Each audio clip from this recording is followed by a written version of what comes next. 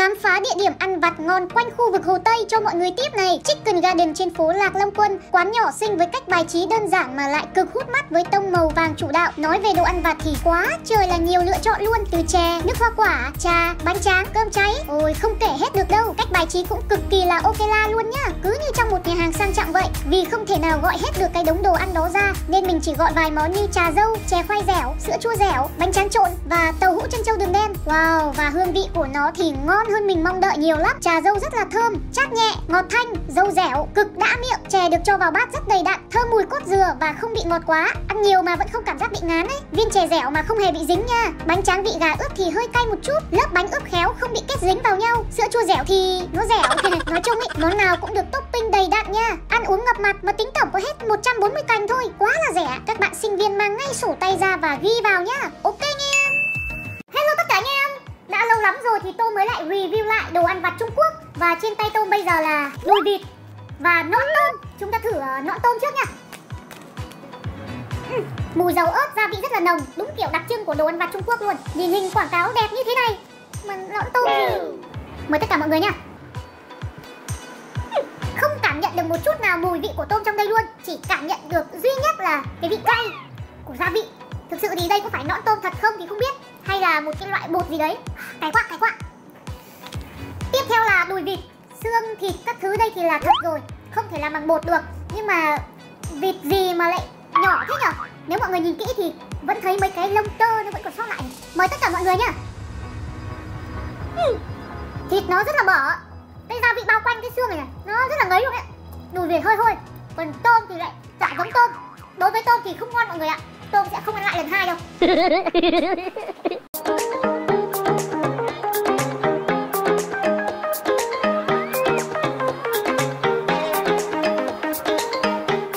Gói ăn vặt khổng lồ có gì đặc biệt? Mọi người hãy cùng Tôm khám phá nó ngay nhá. Uầy, nhìn bao nhiêu loại kẹo ập xuống bàn mà khoái thật đấy. Nhiều quá không đếm được nhưng ít nhất là cũng phải tầm 30 loại khác nhau đấy. Giờ mình cùng thưởng thức hương vị của nó nhá. Gói xanh có hình con cá con tôm này là snack các bạn ạ. Vị của nó thì giống như oxy đỏ ngày xưa nhỏ nhỏ chúng ta hay ăn đó. Gói đen này thì là snack khoai tây. Ăn không gì gói xương chó bán ở cổng trường ngày xưa cả Cái hộp hộp này nhìn ảnh ở ngoài thì biết ngay nó là bánh xốp rồi Bên trong có hai cái và vị của nó là matcha nhá Rồi, tiếp đến là ăn thạch này, Gói xé cay này, Mì tôm trẻ em này Wow, Và bao nhiêu loại bánh kẹo với đủ kiểu vị khác nhau Các bạn muốn trải nghiệm rõ hơn thì hãy mua về và ăn đi nào Chỉ cần bỏ ra 250.000 đồng thôi mà mua được về một đống bánh kẹo to đùng thì đó là rẻ đúng không? Tết này Tôm sẽ mua 2 đến 3 gói về để đãi khách. Cảm ơn tất cả mọi người đã theo dõi clip nhá. Trà sữa chân trâu, chân trâu nhưng siêu to tình yêu của em. Rồi, ok. Đồ ăn vặt nội địa Trung Quốc có gì hấp dẫn mà lại hot đến như vậy? Hãy cùng Tôm trải nghiệm ngay nhá. Mỗi gói như này có giá khoảng 15.000 đồng. Cổ thật, cánh thật, chân cũng thật luôn nhá. Mùi hương và vị của nó giống như là vị pate kẹp bánh mì vậy Nghe nói là đồ ăn cay mà không cay lắm Chỉ hơi tê tê thôi Xương bùn và mềm rồi nên mình nhá cả xương luôn Rất dễ dàng Nó rất ngấy và mặn nếu có bát cơm đây thì sẽ dễ ăn hơn. Cả ba thứ này đều có mùi vị y hệt nhau nên là không thể ăn nhiều được. Gọi là đồ ăn vặt thì hơi điêu đấy. Nếu được lựa chọn thì mình vẫn thích phi ngay ra quán ăn vặt gần nhà hơn. Chân cánh nóng hổi, nước chấm ngon tuyệt vời. Đã thế giá thành lại rẻ hơn nữa. Đồ ăn vặt Việt Nam vẫn là nhất nha mọi người.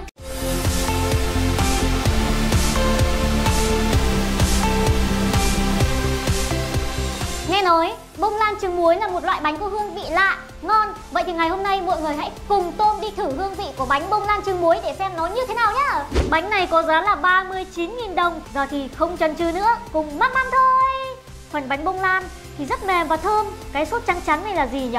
Mặn mặn, ngọt ngọt, Nói chung là hơi khó ăn đối với tôm. Ruốc đã được đánh bông lên, Thơm vừa ăn. Quan trọng nhất là phần trứng muối đây này. Ăn riêng kiểu này thì nó hơi tanh và nhớt nhá. Hình như là trứng muối không dành cho tôm rồi. Hòa quyện tất cả lại với nhau. Nhai nhai nhai nhai Và ôi không. Xin lỗi mọi người chứ tôm không cố được nữa rồi. Thật là tiếc bởi vì mình không ăn được bông lan trứng muối Nên để nhận xét nó có ngon hay không thì khó quá. Đó cũng là một điều thiệt thòi đấy các bạn ạ.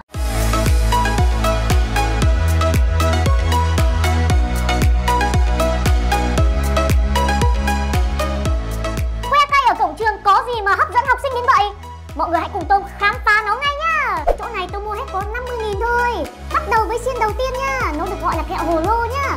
Nó hấp dẫn ở cái cách đặt tên thôi Chứ ăn sốc phồng sộp Bột phồng hết cỡ luôn, bóp lại thì chả được mấy tí. Còn cái miếng dẻo dẻo khi ăn phải xé ra này Người ta cứ đồn là làm từ miếng nước hoa quả của Trung Quốc.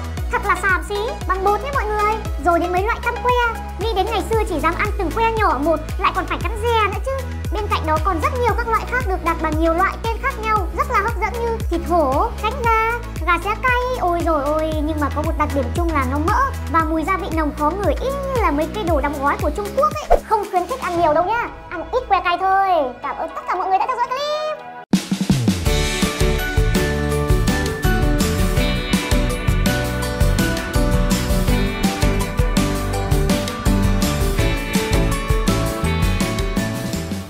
Kẹo con mắt có hương vị như thế nào? Hãy cùng Tôm trải nghiệm ngay nhá!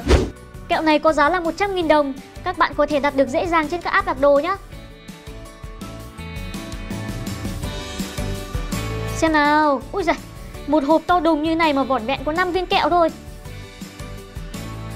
Ơi Mày nhìn sao nó ghê ghê! Trong mắt to đùng rồi gân máu các kiểu. Eo ơi! Rồi rồi, thử ăn xem hương vị như nào nhá. À mùi thì cũng thơm đấy. Thơm kiểu kẹo cao su vậy. Tách nó ra thì bên trong nó có rất là nhiều siro ngọt, Vị dâu, Kẹo thì cũng kiểu dẻo dẻo, Ok. Nhưng mà hình như là do mình bị ám ảnh bởi con mắt trong các bộ phim kinh dị hay sao ấy, Mà mình ăn nó cứ bị ghê cổ ấy.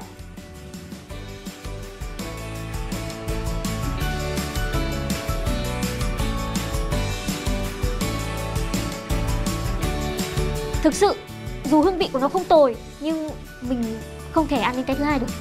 Loại kẹo này thực sự chỉ phù hợp với các dịp lễ như là Halloween, Còn với tính chất kinh dị của nó, Mình cực kỳ phản đối cái việc mua nó về để thưởng thức hàng ngày, Nhất là mua cho trẻ em.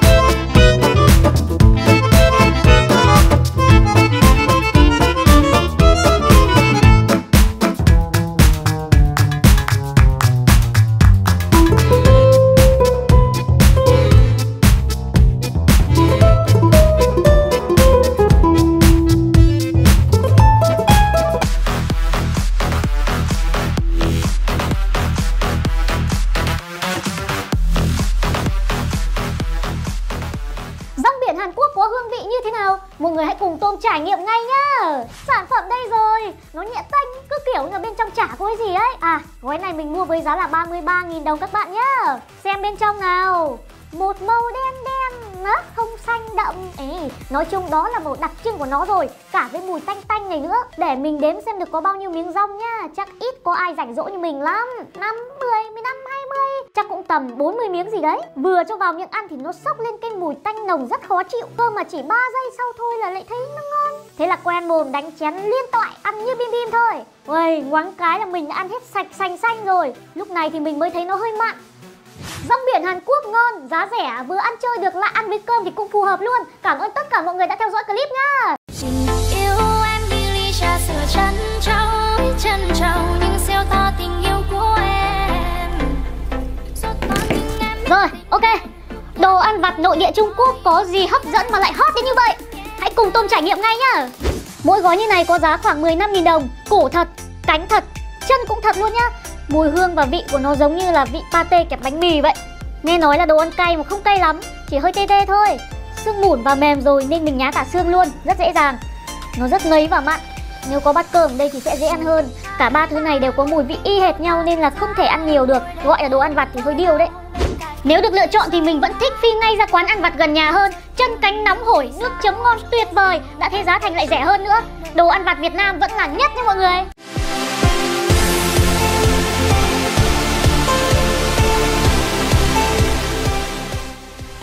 Xúc xích Kibasa có gì đặc biệt?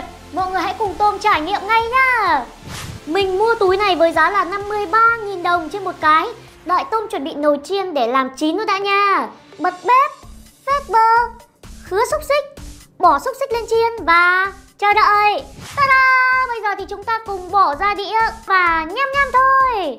Tôm đã chuẩn bị sẵn một chai tương ớt đây rồi. Lớp ra ngoài bọc thịt của nó khá là dày Chắc chắn Có vị ngọt ngọt, lợ lợ. Cảm giác y như là đang ăn lạp sườn vậy. Và cái này thì gọi là lạp sườn đúng hơn là xúc xích đấy ừ, Thôi thôi mình xin lỗi là mình không thể ăn được nữa. Ngấy lắm, không hợp. Thật tiếc là vì món này nó không hợp với mình Và mình nghĩ rằng với những cái người nào thích ăn thịt lạc Và ghét sự ngăn ngấy Thì cũng không chịu ưng cái món này lắm đâu. Món đôm dừa kinh dị như thế nào? Mọi người hãy cùng Tôm trải nghiệm ngay nhá. Ui nhìn nó ngọ nguậy giống như sâu là mình giởn hết cả da gà lên rồi. Ta cần phải chế gia vị thì mới ăn được. Cắt lá chanh vào này Cắt thêm ớt tươi này Cho hạt tiêu này Rồi đổ nước mắm. Phải đợi nó ngấm gia vị tầm 20 phút thì mới ăn được nha. 20 phút đã trôi qua và bây giờ là đến phần thử thách bản thân vượt lên chính mình. Nhìn thấy mấy con giống giống sâu như thế này là mình đã phát khóc lên rồi ấy. Thôi rồi, không được hèn không được hèn, cố lên tôm ơi Há miệng ra cắn đi, cắn đi, cắn nuốt. Cái chất nước nhảy nhảy nó phun ra trong miệng tôm là mình tí nữa thì chớ. Mình phải cố gắng nuốt thật nhanh xuống Nên bây giờ mọi người hỏi mình là đua ngô vị gì thì mình chịu chết. Thôi mình xin được đầu hàng Lại tiếp tục có thêm một món ăn đặc sản mà mình phải liệt nó ngay vào danh sách đen Bởi vì sao? Bởi vì nó thực sự kinh dị và gây ám ảnh đối với mình Cảm ơn tất cả mọi người đã theo dõi clip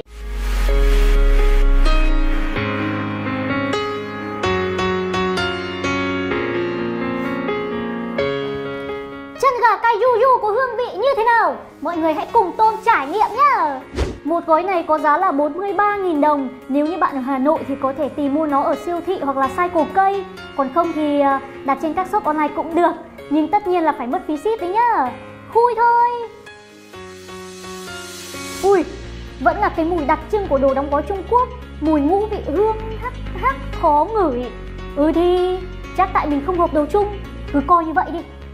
Ấy, có cả quả ớt nguyên nữa này. Chu đáo ghê.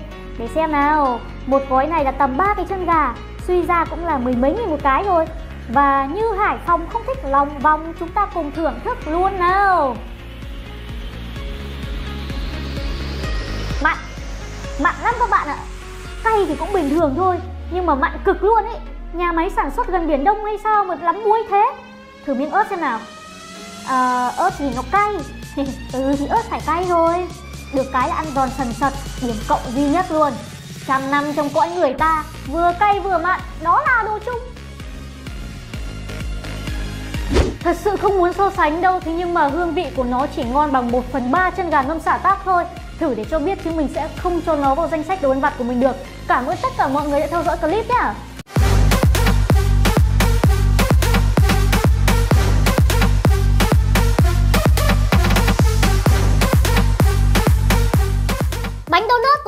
thế nào? Mọi người hãy cùng Tôm trải nghiệm ngay nhá. Chỗ bánh này mình mua với giá là 120.000 đồng 6 cái với 6 kiểu trang trí khác nhau, rất là đẹp mắt. Cái đầu tiên được trang trí bằng lớp sô-cô-la, Cộng thêm cái này hình như là gạo chiên phòng ấy. Trên là lớp sô-cô-la cứng, Dưới là lớp bánh dày và mềm. Cái tiếp theo là nó chỉ có sô-cô-la thôi, Còn hương vị của nó như thế nào á? Dĩ nhiên là mùi sô-cô-la và ngọt sắc rồi. Cái thứ ba có thêm kẹo dẻo để trang trí nữa. Hình như cái nào có thêm topping thì nó sẽ ngon hơn. Cái thứ tư thì giống hệt như cái thứ hai thôi. Cái thứ năm có có rắc thêm kẹo sắc màu chủ yếu là để đẹp thôi. Mình thích nhất là cái cuối cùng đây này. Nó có dừa nên rất là thơm và ăn cũng ngon nhất luôn nữa. Bánh được trang trí đẹp nên rất phù hợp để mua về bày khi nhà có tiệc. Cảm ơn tất cả mọi người đã theo dõi clip.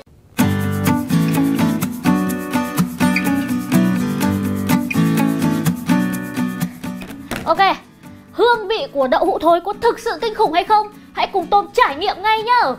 Mỗi gói này có giá khoảng 70.000 đồng Bên trong có tầm chục miếng đậu. Mỗi gói nhỏ này là một miếng nhá. Để xem nó có thối như trong truyền thuyết không nào. Ai cha Không hề thối nhá. Hình như là mấy cái món đồ gói Trung Quốc này đều có mùi vị giống y hệt nhau hay sao ấy. Mùi dầu mỡ và mùi ngũ vị hương ấy. Cắn một miếng thì thấy nó không hề kinh khủng. Chỉ có điều là khó ăn. Cứ kiểu gì, lợ lợ, giống như một cục bột được tẩm thêm vị cay, Rồi dầu ớt. Mình xin phép nhá.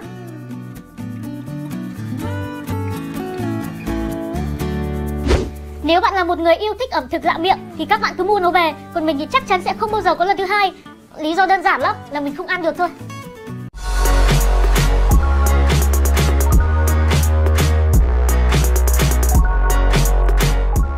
Có một bộ phim hoạt hình Nhật Bản cực kỳ nổi tiếng đã gắn bó với bao nhiêu thế hệ tuổi thơ. Đó chính là Mộ Đông Đóm. Và đó cũng là tên loại kẹo ngày hôm nay mình muốn review. Kẹo Mộ Đông Đóm. Một hộp này có giá là 92.000 đồng. Hộp kim loại luôn này, đẹp tuyệt vời.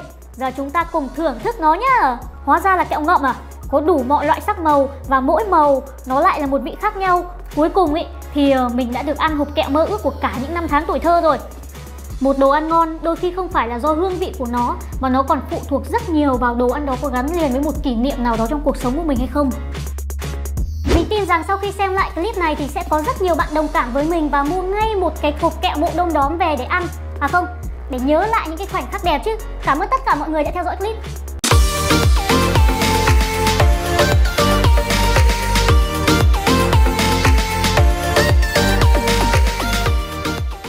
Chứng sắp có hương vị gì đặc biệt Mọi người hãy cùng Tôm trải nghiệm nó ngay nhá Gói này mình mua với giá là 155.000 đồng À, nó được làm từ trứng cút mọi người ạ Nó kết dính lại với nhau như là một khối thạch vậy. Mình lấy dao cắt đôi quả trứng ra thì sẽ thấy lòng đào của nó nhiều hơn lòng ngoài rất là nhiều. Lòng ngoài là lòng trắng ấy Ăn cái lòng trắng mà giờ nó đã chuyển thành đen này trước thì thấy nó rất là giòn Cơ mà nó hơi nặng mùi, mùi hắc á. Ăn lòng đào của nó thì ok hơn, mùi mùi béo béo Cơ mà nó lại giống như tất cả các loại bình thường khác mà không có gì đặc biệt cả. Đổ nước tương ra chấm ăn thì sẽ dễ hơn rất nhiều. À mà trứng này nó chả cay tẹo nào luôn ấy. Khả năng là cái này sẽ dùng để ăn chung với mì tôm pha hơn Chứ làm gì có ai mà ăn trứng không đúng không nào? Nếu để mình lựa chọn thì mình sẽ cầm ngay 155.000 đồng chạy ra ngoài chợ mua hơn 100 quả trứng cút sống về để luộc ăn còn ngon hơn rất là nhiều.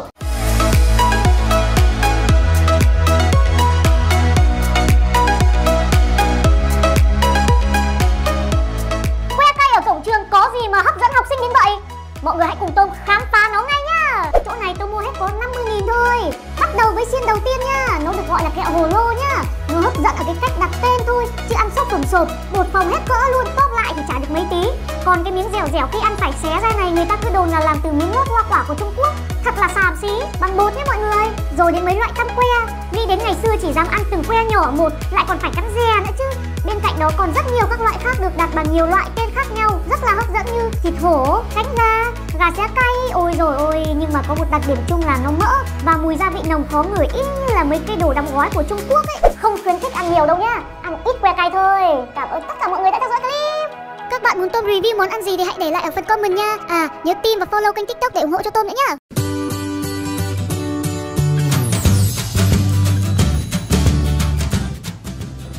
Ok nhá, kẹo Huber Buber có gì mà khiến trẻ em của cả nước phát cuồng đến như vậy? Chúng ta hãy cùng trải nghiệm nhá. Mỗi hộp này có giá là 50.000 đồng. Nó thú vị từ thiết kế đựng hộp kẹo trở đi. Bên trong kẹo được cuộn thành một cuộn to dài thuần thuột như dây thừng thế này đây. Theo như biệt độ trẻ con ở xóm Mách bảo là phải cho được cái đầu kẹo ra ngoài rồi kéo như là kéo sợi vậy. Ăn bao nhiêu thì ngắt bấy nhiêu. Nhưng mà loay hoay một hồi thì mình vẫn không làm được. Thôi thôi thôi, bỏ qua đi. Cho vào mồm, nhai luôn cho nó nhanh. Vị hoa quả rất ngọt và thơm Nhai cũng vui miệng phết nhở Kẹo này không chỉ để ăn mà còn có thể chơi với nó Nên chắc là các bé mới thích đến như vậy Kẹo này mình nghĩ chỉ phù hợp với trẻ em thôi. Còn riêng mình ấy, nếu như muốn nhai cho thơm miệng khử mùi Thì mình sẽ sử dụng một cái loại kẹo khác. Đồ ăn của trẻ em thì có rất là nhiều thứ Đủ các loại giá cho đến hương vị rồi là chất lượng. Mọi người phải tìm hiểu thật kỹ trước khi mua về cho con em mình sử dụng nhé Xin chào tất cả mọi người nha Hôm nay thì mình rất bất ngờ bởi vì có một bạn khán giả tên là Thu đã gửi tặng cho mình một món đồ và nói rằng hãy review đi và vui hơn nữa ấy, là khi ship đến đây thì mình phải thanh toán tất cả các loại tiền. Bây giờ thì mình sẽ cùng mở cái hàng này ra xem nó là cái gì nhá. Hy vọng là không phải những cái đồ ờ, vớ vẩn Wow. Kẹo cao su tuổi thơ mà. Cái loại kẹo cao su này kiểu như là huyền thoại luôn ấy. Đã lâu lắm rồi đã lâu lắm rồi rất lâu rồi. Mình đã không được nhìn thấy và ăn cái loại kẹo cao su này nữa. Trong đây ý, chắc chắn là nó có một cái hình xăm luôn. Hình xăm rán wow một hộp luôn kẹo này thì nó có một đặc điểm là thơm thơm nước mũi luôn á. Mình sẽ thử bóc nha. Thơm thơm lắm luôn á. Hơi dính ha tại vì nó không có cái lớp bóng bảo vệ. Đây.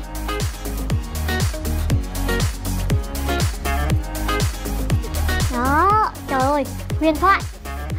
Thơm quá. Và trong cái nào cũng vậy Nó sẽ có một cái hình để mình dán lên tay như vậy đây. Ngày xưa ấy là đa số là cái hình kiểu hoạt hình. Còn những cái hình cầu thủ này hầu như là không có luôn á. Thì có thể là sau này thì người ta đã cải tiến đi. Mạnh, ố, Ủa? Sao nó không dính được ta? Để mình thử một hình khác nha Cái kẹo này thì nó cũng có rất là nhiều vị khác nhau mọi người ạ. Từ dâu, dứa, cam, đào. Và xanh xanh là vị táo. Kẹo đầu tiên mình ăn vị táo này. Không nhưng mà nó vẫn không dán được mọi người ạ. À hình như trước khi dán ý là chúng ta phải bôi. Bôi ẩm ẩm cái tay này một chút. Đó tay mình đã ẩm rồi bây, bây giờ mình sẽ thử dán xem sao. Đây là hình của một siêu nhân nhưng mà bị mất đầu đầu ở dưới. Cái này là lỗi lỗi cắt lỗi cắt nha. À đây không phải siêu nhân mà hình như là cầu thủ. Người ta bị cắt lỗi hình này mọi người. Rồi. Wow và cũng không được. Chứng tỏ là cái kẹo bây giờ thì nó không có được như ngày xưa nữa. Hầu như trong này đa số là hình dáng cầu thủ mọi người ạ. Nó không có được ờ, đa dạng như cái ờ, cái kẹo ngày xưa nữa. Ok bây giờ thì mình sẽ đi mời mọi người nhé Mời chị. Này, đi sang người cho cả hai Đến với đeo khẩu trang trông chế Vâng, kẹo này Đeo khẩu trang. Đeo khẩu trang. Này, đến anh Thuận đây Rồi, mình vừa đi mời mọi người và ai cũng rất là vui. Và nhiều người còn kiểu như là kể lại cho nhau nghe những câu chuyện trong quá khứ ấy, Ký ức tuổi thơ ấy. Và mình cũng vậy, mình cũng rất là vui. Và cảm ơn Thu nhiều lắm nha Đã gửi tặng cho mình cái món quà có ý nghĩa tinh thần lớn này. Nhưng mà lần sau cô tặng cái gì thì trả phí chứ. Rồi nơi mình rời nhau đi sự chia ly còn ai để thầm thì.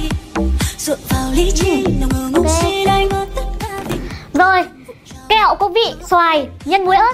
Có thực sự giống như xoài chấm muối ớt hay không? Hãy cùng Tôn thử nhá. Một phong kẹo như thế này có giá khoảng 9.000 đồng nếu mua trên app thì sẽ đắt hơn một chút. Vừa mở ra mùi của nó giống như là mùi xoài bao tử luôn ấy. Uhm, Vị chua thuần tí của xoài, muối ớt thì ngon xuất sắc luôn. Có thể lấy muối này ra mà chấm xoài thật luôn được ấy. Khác với các vị ăn Felipe khác là ăn cái này mình sẽ không bị ngán, không bị ngấy nhá. Có thể ăn liên tục một lúc được vài phong kẹo luôn. Kẹo thực sự rất là ngon và lạ miệng. Hơn nữa giá thành lại cực kỳ là rẻ Cho nên mọi người hãy mua ngay về để trải nghiệm đi nhá.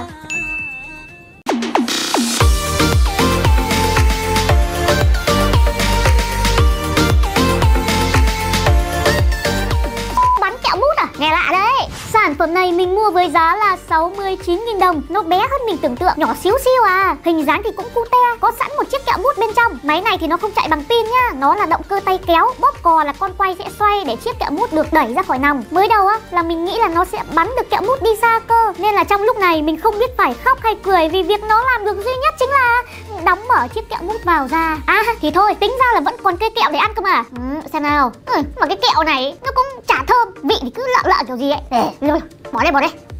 Bỏ ra 69.000 đồng để ăn một cây kẹo mút theo cách cồng cành hơn thì đúng là phí tiền, Không biết khi mua về để dỗ các cháu thiếu nhi, các cháu có chê không? Nhưng mà mình là mình chê cái này rồi đấy.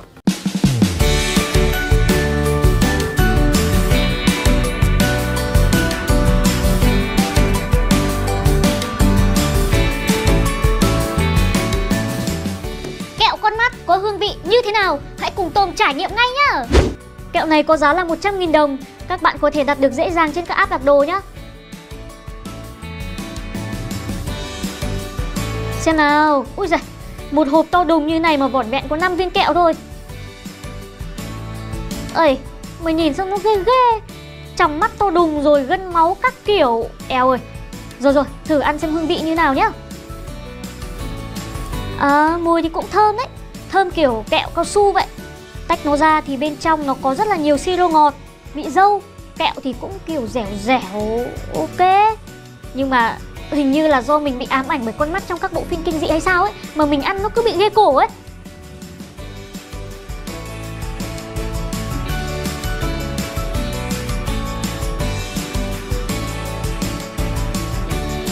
Thực sự, dù hương vị của nó không tồi, Nhưng mình không thể ăn đến cái thứ hai được. Loại kẹo này thực sự chỉ phù hợp với các dịp lễ như là Halloween. Còn với tính chất kinh dị của nó, Mình cực kỳ phản đối cái việc mua nó về để thưởng thức hàng ngày, Nhất là mua cho trẻ em. Cảm ơn mọi người đã theo dõi clip.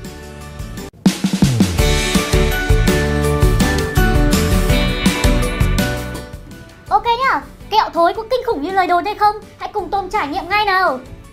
Một hộp nhỏ xinh như này có giá là 65.000 đồng, Đắt phết đấy. Wow, bên trong là rất nhiều những viên kẹo đủ sắc màu Gọi là kẹo thối mà lại cực kỳ thơm luôn. Thử xem vị nhá.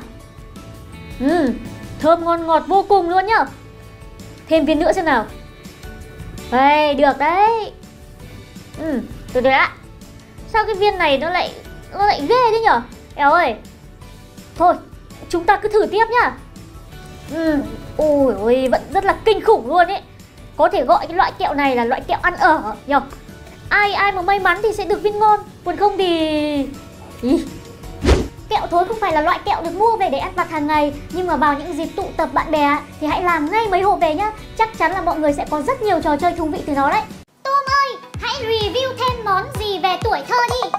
Có luôn Ok, tôi sẽ review sản phẩm keo thổi bong bóng tuổi thơ. Nhưng phải nói thật là tuổi thơ của ai chứ? Tuổi thơ của tôi không chơi món này. Ái chà, được tặng kèm thêm mấy cái quả bóng quả lê nữa. Nhưng thề là loại bóng tí hon này thổi cực kỳ khó luôn ý. Chỉ có Tết là hay thổi để treo lên cây đào thôi. Mỗi cái tuyết keo tuổi thơ này thì nó nhỏ bằng ngón tay thôi. Chất keo thì màu vàng, không dính lắm Đặc sệt và mùi thì ôi rồi ôi khó ngửi như mùi sơn xịt ý. Giờ thì chỉ cần bôi keo lên đầu ống hút cho nó kín lỗ hút Sau đó thổi là sẽ thổi được ra quả bóng thôi. Mọi người bôi càng nhiều thì sẽ thổi ra được quả bóng càng to. Và một tuyết này thì có thể thổi được khoảng hơn 20 quả luôn nha. Và khi mình bóp dẹp nó đi rồi thì lúc này chất liệu của nó cứ y như là mấy cái túi bóng luôn ý. Ảo thật sự Nhưng lúc này thì mùi nó cũng đã bớt khó chịu hơn rồi. Chốt keo Ok Tôm thổi bóng. Thách thức Mọi đứa thú Mọi người muốn Tom review sản phẩm gì thì hãy comment ở bên dưới nha